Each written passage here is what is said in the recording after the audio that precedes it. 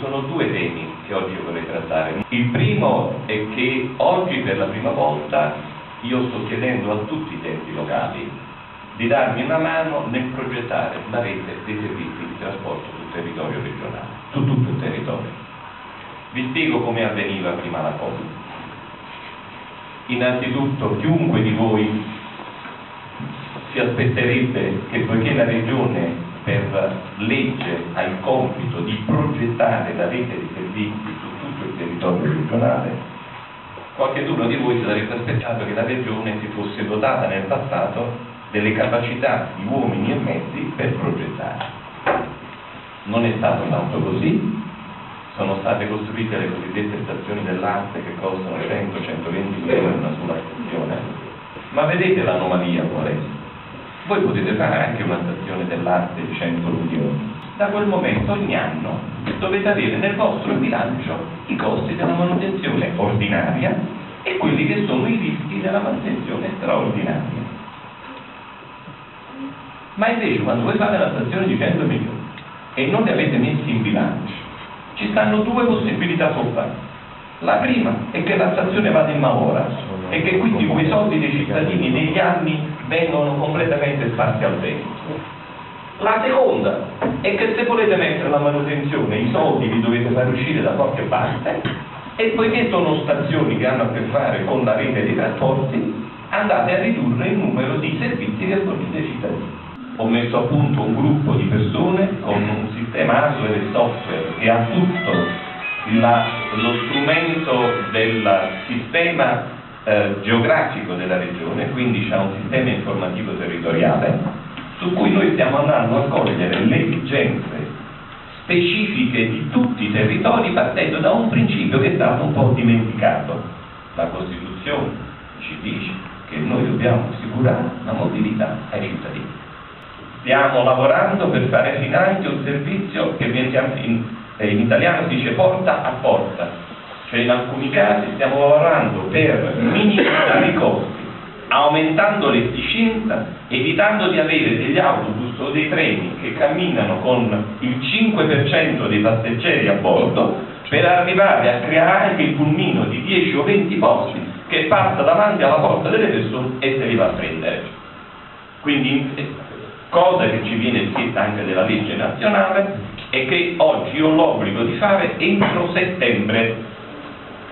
Quindi entro settembre ho l'obbligo di riprogrammare su tutto il territorio regionale tutto il servizio di trasporto, quelli dei comuni, all'interno dei comuni, tra comuni, quello sul ferro, quello sulla gomma, quello sul mare, tutti i servizi della regione Campania.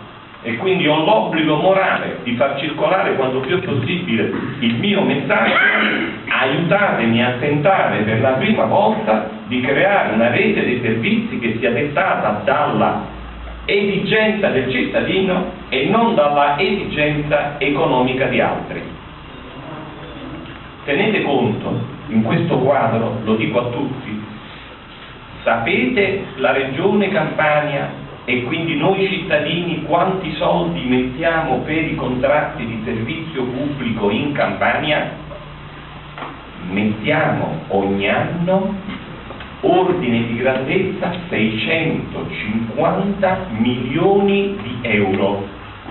Io li converto sempre in miliardi di lire perché sono a dirlo e quindi converto subito. Questa cifra ai tempi miei era qualche cosa 650 milioni di euro che noi diamo alle aziende di trasporto sul territorio che in più incassano anche i biglietti.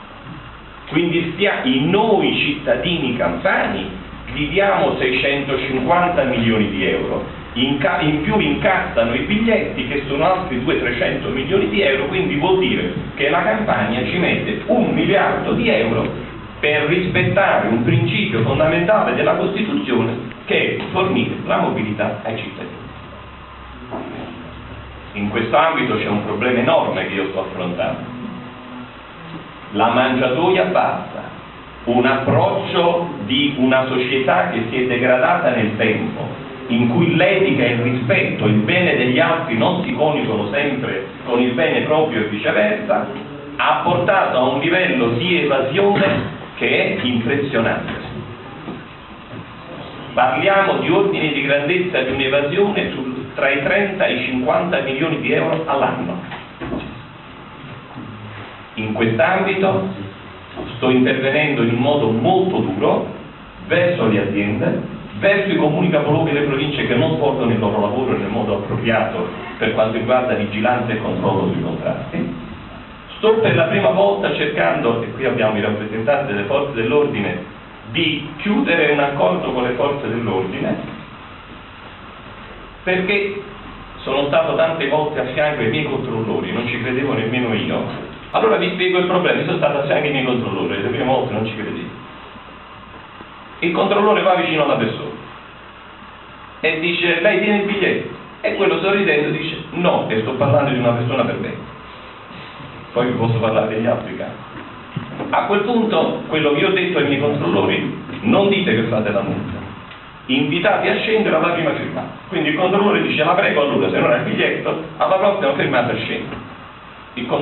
La persona dice, io non scendo, sempre sorridendo. Allora il mio controllore dice, allora mi dia il suo documento perché io devo fare la multa. Io non ho il documento. A questo punto, perché i nostri sono polizia amministrativa e non giudiziaria, solo se fanno così li denunziano davanti alla procura penale. Allora, eh, vi ho fatto un piccolo flash, no, ma molto significativo. Ne potrei fare degli altri, però fondamentalmente il flash è la richiesta, la cortesia che io richiedo, i sindaci, quindi le loro, diciamo, le loro giunte, eccetera, eccetera, associazioni di cittadini o cittadini singoli che abbiano particolari tipi di esigenza, vi prego di farmi avere le vostre richieste perché faremo di tutto per fare in modo di includerlo nella nostra progettazione dei servizi e riuscire a ritagliare dei servizi che siano diciamo, eh, legati alla reale esigenza. Veniamo ora al discorso delle infrastrutture. Allora, il, eh, noi abbiamo l'altra problematica è la seguente. Eh, per quanto riguarda le opere infrastrutturali, eh, io sono in fase di eh, diciamo, finalizzazione della progettazione delle opere su tutto il territorio regionale. Quindi stiamo parlando delle strade, stiamo parlando delle ferrovie, stiamo parlando dei poli logistici, stiamo parlando dei porti, sto andando nel chiudere il programma delle infrastrutture e preparare il piano 2014-2020 per l'Unione Europea. Quindi secondo messaggio a tutti gli enti locali, ai sindaci, sono vicino a loro, nel caso si riescono a individuare delle opere che avendo l'interesse di più comuni noi riusciamo, fra virgolette, a inserire nella progettualità delle infrastrutture. Tenete conto in questo come informazione che l'Unione Europea ha dichiarato che per quanto riguarda il 2014 e il 2020 non vorrà mettere dentro le strade. Io sono presidente della Commissione Infrastrutture, Mobilità e Governo del Territorio di tutte le regioni italiane e delle province autonome e quindi ho già attraverso la mia commissione, che ovviamente essendo tutte le regioni italiane ha nella conferenza unificata un rapporto diretto con il governo anche in termini legislativi, abbiamo la possibilità in questo modo di avanzare all'Unione Europea di ripensare su questo, perché io lo reputo inappropriato. E comunque sto suggerendo che anche se loro non volessero riconfermare la possibilità nel piano 2014-2020 di inserire strade, di far passare un progetto nazionale di sicurezza stradale che è un altro grande problema che abbiamo, dove ci stanno i nostri giovani, ci sono le nostre persone che rischiano la vita perché in molti casi le nostre strade non sono sicure. E quindi l'altro elemento che io sto facendo è di chiedere un piano sulla sicurezza stradale, avendo introdotto già nell'intesa generale quadro che dovremmo, dovrei andare a firmare entro la fine del mese di giugno col nuovo ministro Maurizio Lupi con il quale ci siamo già incontrati diverse volte, in quel piano io ho già fatto mettere una, eh, un pacchetto di 100 milioni di euro per quanto riguarda un piano che intervenga sulla sicurezza stradale. Allora, eh, risposta sul problema che eh, ha eh, sottolineato il sindaco che è a vostra conoscenza.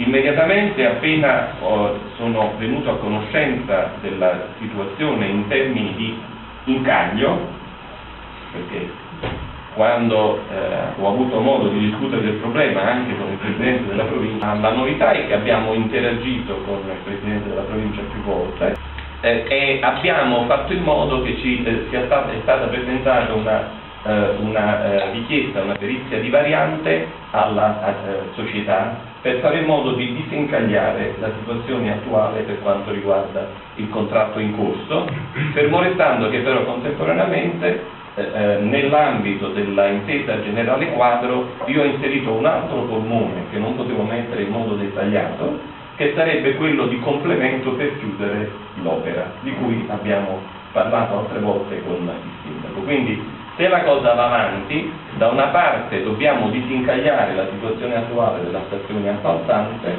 dall'altra dobbiamo andare al completamento dell'opera e quindi utilizzare quelli che allo stato attuale sono fondi nazionali, perché non avremmo diciamo, i tempi poi del 2014-2020, in particolare col rischio che le strade non ci siano, quindi l'unica possibilità allo stato attuale è cercare di eh, eh, diciamo, ottenere eh, questa disponibilità economica in base a quelli che sono i fondi eh, nazionali. Cosa? L'intesa generale quadro a cui fa seguito l'accordo di programma è quello nel quale noi mettiamo tutte le diverse voci che fanno riferimento alle attività che noi vogliamo sviluppare. Allora, innanzitutto io vi dico quello che so io, in modo tale che almeno ci mettiamo in sintonia, perché sennò a volte le, eh, le notizie ovviamente si spargono in modo inesatto, poi se le vuole io le posso dare conto delle informazioni che le dando. Okay. Allora, innanzitutto l'appalto è stato assegnato il luglio del 2007, cioè l'amministrazione provinciale di Benevento stipula il contratto di appalto con l'impresa Zaccari Costruzione SRL per un importo netto per i soli lavori di euro 2 milioni 217 mila. Questo è quello che a me risulta dalle carte. Quindi lei parla e ovviamente è inutile dire. I 34 miliardi di prima. Vabbè ma è, eh, io non dico quello io dico quando si va a vedere il saldo finanziato 36 37 miliardi dice ma scusate noi non possiamo solo finanziare. Io l'ho ascoltato con molta eh, Donato ma eh, mi perdoni mi, mi, guardi io non è che non capisco il risentimento il discorso è che una cosa è il risentimento, una cosa fare il punto della situazione e vedere poi se lei come cittadino mi può suggerire di fare qualche altro atto oltre a quello che la legge mi consente di poter fare. Perché se no ritorniamo al problema di prima. Una cosa, una cosa è la teoria e una cosa sono le leggi che ci siamo date. Che il contratto è partito nell'anno 2007. Se qualcuno ha degli, dei dati per dirmi che è sbagliato, io ne farò verifica. I, I lavori vengono consegnati con un termine di consegna entro il 28-12-2008 con 540 giorni di attività. Problematiche in corso d'opera, interferenze con una condotta SNAM, quindi il progetto non era stato gettato giù bene, peggioramento dello stato dell'intero tratto nel 2005-2006 dovuto a delle frane per condizioni meteo avverse. Quindi, perché le sto facendo degli esempi?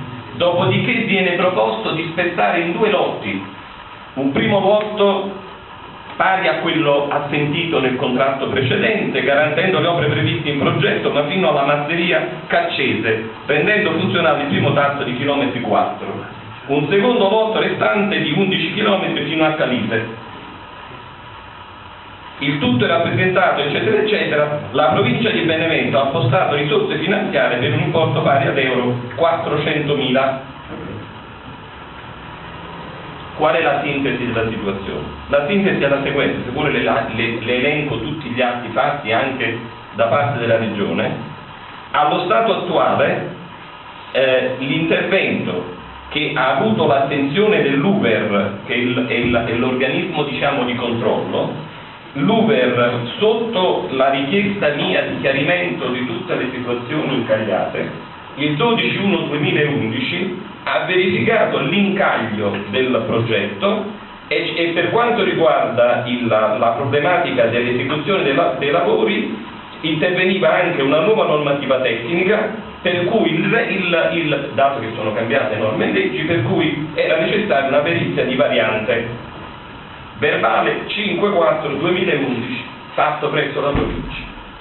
Allo stato attuale, come vi dicevo, l'intervento oggi è sospeso e la, l'amministrazione provinciale di Benevento ha affrontato una perizia di variante che l'abbia sottoposta all'approvazione dell'impresa appaltatrice. Questa è la situazione di fatto. Quindi quando parlavo prima del secondo tratto, cioè degli ulteriori soldi, perché questa opera è stata divisa in due lotti. Le desidero chiarirle, se possibile, da parte mia, un concetto. Oggi la legge italiana prevede la funzione di stazione appaltante, che è quella lì che gestisce tutte le attività contrattuali, dall'A alla Z, in piena autonomia nel senso che c'è un responsabile unico del procedimento che viene nominato all'interno dell'amministrazione, l'amministrazione gestisce il contratto e ne risponde da un punto di vista delle responsabilità civili, amministrative e penali. Allo stato attuale il discorso da parte della Regione non è che la Regione abbia autorità per intervenire nel processo come tale, perché non essendo una stazione appaltante non abbiamo autorità per poter intervenire nel discorso contrattuale che è tra la ditta e la provincia come stazione appaltante. Noi possiamo fare il controllo sulla spesa, che è quello che abbiamo fatto, tanto che è bloccato. Cioè io le sto dando, oggi stiamo dicendo che è incagliato. Perché è incagliato? Perché è stato fatto il controllo e una volta che si è fatto il controllo si è verificato che la cosa è incagliata, per cui è bloccato. E se le cose non vanno avanti, chi ha fatto questa, eh, ha preso e ha tenuto la responsabilità di stazione appaltante, ne risponderà nelle sedi dovute, nei modi dovuti, ma non è che la regione è la procura penale, è la Corte dei Conti, sono i, i carabinieri, e finanza, per cui noi possiamo arrivare e come regione con una grande scimitarra tagliamo la testa alle persone perché sono cattive, capito? Allo stato attuale quindi, poiché esistono delle sorgenti di finanziamento a livello nazionale di diversa natura, ci sono diverse sorgenti di finanziamento a livello nazionale e il mio sforzo è quello di cercare dei pacchetti di finanziamento in cui non vado a esplicitare nome e cognome di tutti e in questo pacchetto io riesco poi nella programmazione di dettaglio regionale a inserire la soluzione di alcuni dei gravissimi problemi che mi sono stati lasciati alle spalle. Io le dico che proprio perché manca l'esercito alle spalle, una cosa è la dichiarazione che può fare qualcuno di dire papà tu stai pensando più agli altri fratelli e non a me perché è un'affermazione ma c'è un problema di fondo. A me non arriva la progettualità. Io ve lo devo dire in faccia avete capito qual è il problema? proprio perché io non ho l'esercito alle spalle proprio perché ci sono una serie di condizioni al contorno vince chi arriva con una condizione di progettualità. Oggi quando noi andiamo a chiedere i soldi quei pochi che ci stanno se io vado con un foglietto di carta di un'idea messa giù su un foglietto di carta o vado con un progetto definitivo o figuriamo un progetto esecutivo, la mia probabilità di vincere sul tavolo di acquisire i soldi e di combattere con altri che a livello diciamo, regionale vogliono altre opere è maggiore e io non ho l'esercito alle spalle, quindi quello che lei dice io lo colgo a pieno, ma ve lo devo dire nel senso della sincerità giusta di un rapporto franco che va nella, nel costruire non nel distruggere. Signori, ripeto, vedete di attivarvi anche voi per farmi arrivare dei progetti che siano dei progetti, avete capito? Per la semplice ragione che poi vediamo come lavorare insieme, ma io questa progettualità oggi ho difficoltà a mettere progettualità ha capito? Io ho nel mio piano alcune opere che stanno a livello di studio di fattibilità. Ci stiamo spiegando che sto dicendo? Non mi dovete dire soltanto mi sento abbandonato. Io non vi voglio abbandonare, anzi sto qua per dirvi che più il territorio si sente abbandonato e più io gli sto a fianco per un fatto proprio caratteriale mio. Però devo poi trovare delle persone che dall'altra parte, come me, non dormono la notte per cercare di gettare giù qualche cosa che sia poi la concretezza progettuale. E in questo, ripeto, teniamo conto del grande elemento di dare lavoro alle persone. Il signor Assessore deve ritornare urgentemente a Napoli, alle 9.30 era qui, 9.33 minuti, quindi colpa nostra se abbiamo iniziato con ritardo, però scusatemi un attimo, eh, io ho ascoltato con interesse tutte le accuse rivolte alla Lente Regione, mi associo volentieri, però scusatemi, ma dove sono gli altri sindaci dei comuni limitrofi? Io personalmente ho invitato tutti, li ho chiamati io uno per uno. Allora questo interesse addirittura passionale per il nostro territorio, dove sta? Dove sta? Noi combiniamo, certo, infatti ho, ho apprezzato eh, la sua presenza qui. Bene, noi dobbiamo fare il nostro mea culpa. A noi, tolto le belle parole e tolto un 30, 40, 50%, non ce ne frega assolutamente niente, perché siamo l'un contro l'altro armati. E questo è un errore gravissimo che non fa crescere né noi singolarmente né il territorio. Quindi questo ci tenevo a dirlo, ero tutto in presenza di colleghi sindaci, lo manderò a dire come mia abitudine agli altri colleghi sindaci, perché la loro assenza qui è stata fortemente, come si dice, apprezzata, va bene, fra 10 virgolette. Vi ringrazio, ringrazio naturalmente il signor Assessore, sono certo che non ci abbandonerà. E voi non abbandonate me.